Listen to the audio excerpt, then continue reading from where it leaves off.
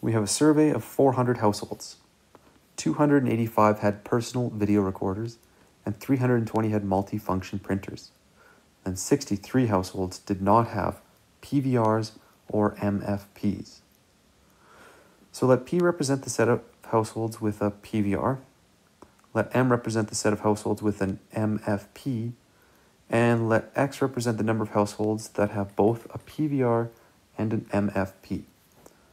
So, mark X and 63 in the appropriate parts of the Venn diagram.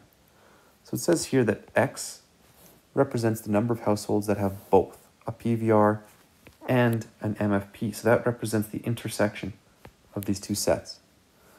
So this is going to cause a bit of problem, cause a bit of a problem because that's our intersection, right? And if you remember with that last question, we need to know what that intersection was before we could figure out, well, for example, just P or just M. So we'll see, we'll just hold off on that for now. Um, next, they want us to mark the 63 in the appropriate part. Okay, so where does the 63 go? Well, it says 63 households did not have a PVR or an MFP. So that's the number of households that are outside of those two regions or those two circles. All right, part B. So write an expression for the number of households who have a PVR and not an MFP. Well, it says here that 285 have PVRs. So if you think about PVRs, it's this region plus this region. So together, those should sum to 285, which is kind of the same problem we ran into before, right? If you don't know the middle one, how do you know what goes in, well, just this region?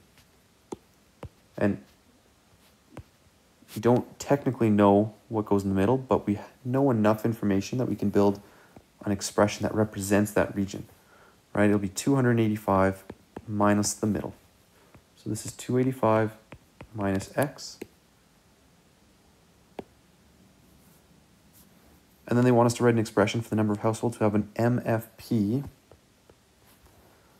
and not a PVR. So that would be 320 minus the middle region.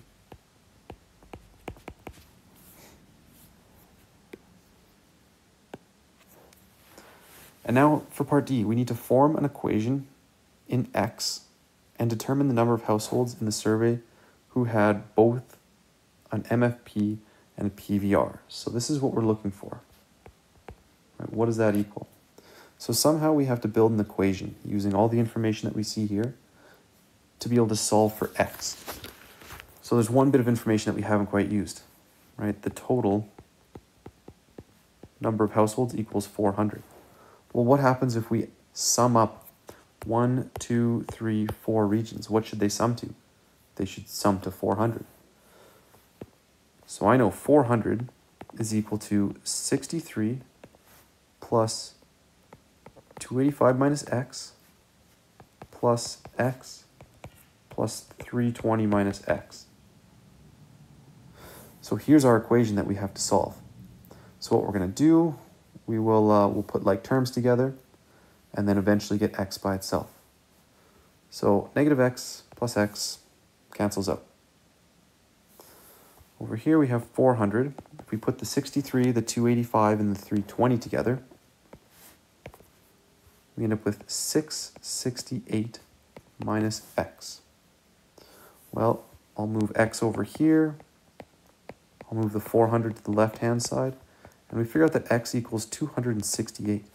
So what we found is that 268 households have